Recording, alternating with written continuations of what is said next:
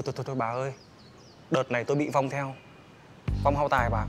Vừa bị khách hàng chửi cho Còn bị cắt 15% hợp đồng nữa. Em không phải là Vong. Tôi đã dặn cậu rồi. Đến ngày đến giờ cậu phải xong cái vườn hoa ban công cho tôi. Hợp đồng đã ký rồi. Tiền ứng trước cậu cũng đã nhận rồi.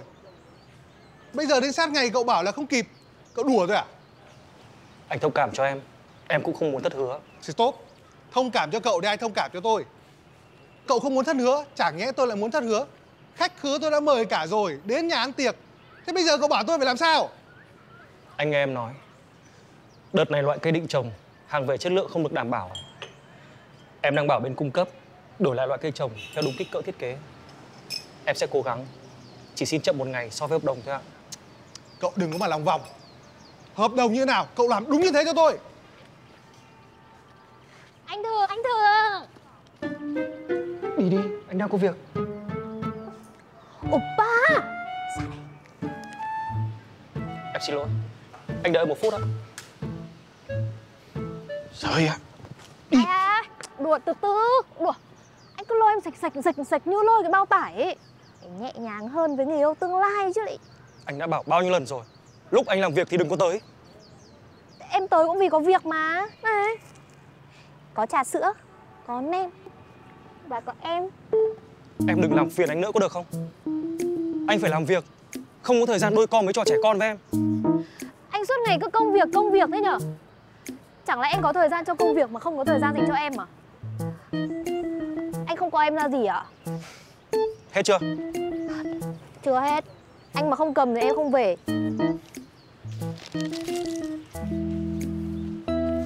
Em xin lỗi Anh vào uống nước Anh em mình bàn tiếp công việc ạ. Thôi không phải nước nồi gì nữa mất thời gian. Tôi chốt lại thế này. Tôi phạt cậu 15% tiền hợp đồng. Coi như đấy là tiền vi phạm. Cậu được chậm đúng một ngày. Đến ngày hôm đấy nếu mà không xong Tôi phạt cậu gấp đôi tiền. Thế nhá. Ok. Anh ơi anh bình tĩnh đã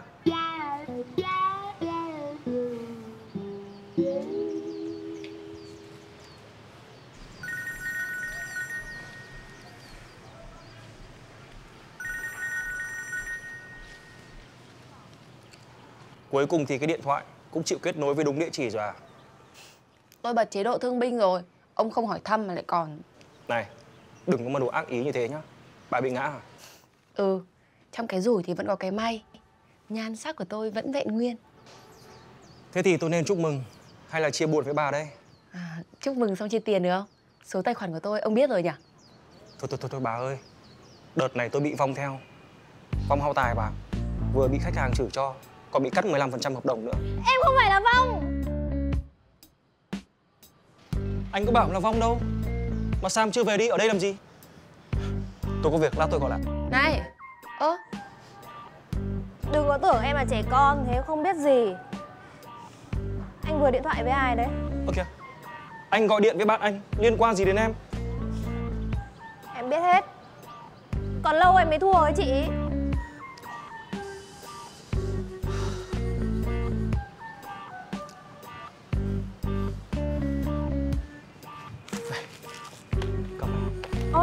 đi đi, đi đi.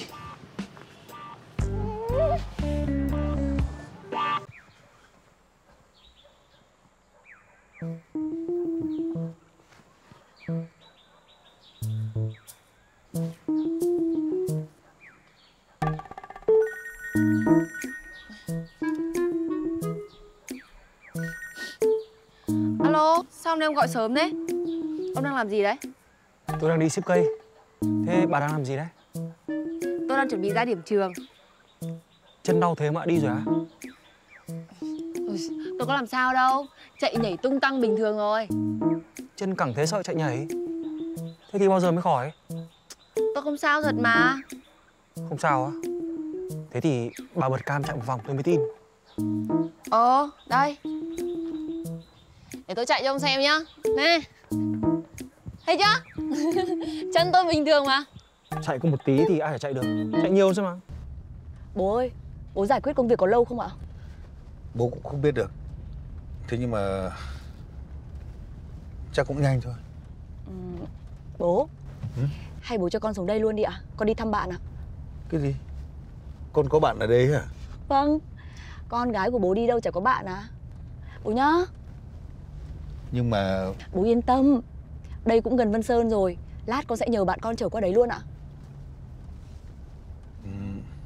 nếu như có bất kỳ vấn đề gì thì phải gọi điện ngay cho bố để bố nói anh Khải quay lại đón, nhớ chưa?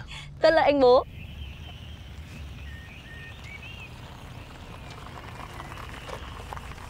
Ờ, mời tiểu thư xuống xe. Nhớ gọi điện cho bố nhá. Vâng ạ, con chào bố, em chào anh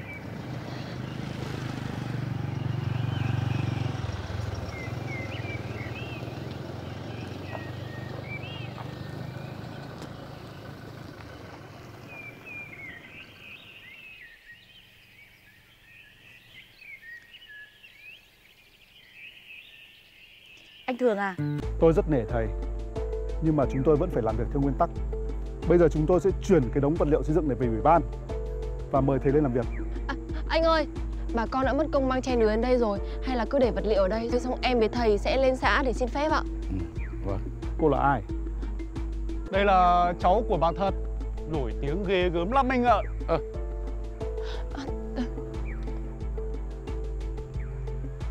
Cậu và bà con chuyển cái đống chai nứa này về ủy ban. Dạ vâng ạ. Ờ, bà con mỗi người hộ em một chân một tay phát ạ. Chưa làm đã thế này. Ghê. Anh ơi từ từ đã. À Cái này bọn em đã mất công cả ngày hôm nay. Mọi người đã đi mang đến đây rồi Thì anh cứ để ở đây được không ạ? Cô lui ra để Bây tôi giờ em với thầy lên ra xin phép luôn hả? Tôi bảo cô lui ra. Thì bây giờ em lên xin phép luôn mà anh. tránh ra đi làm loạn đúng không? Đúng là cái đồ con rơi. Mẹ thì cà về con thì bố láo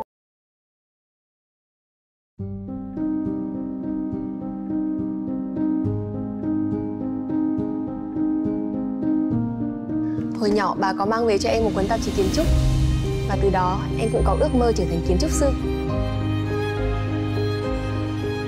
Con người là một phần của tự nhiên Thế nên những gì con người tạo dựng nên cần gần gũi với thiên nhiên thì mới bền vững Trong đó có kiến trúc Bạn vừa ra trường rồi đúng không?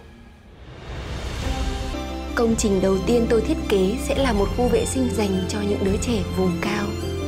Thiết kế tốt, đến từ người kiến tạo tốt. Mọi vấn đề đều có thể giải quyết bằng những giải pháp hay. Sao hai đứa cứ dính vào nhau thế? Mẹ muốn hai đứa giữ khoảng cách. Cô đến gặp những người đó chỉ vì bản thiết kế ấy à? Tôi không muốn có bất kỳ cơ hội gì từ anh cả.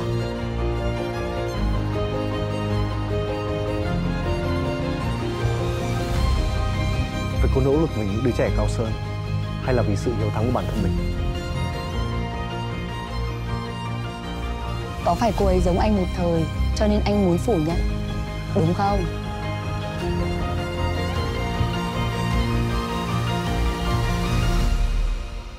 Nếu tôi ở vị trí của anh, Thì tôi sẽ không nhân danh bất cứ thứ gì Để ngăn cản người khác đấu tranh cho ước mơ của họ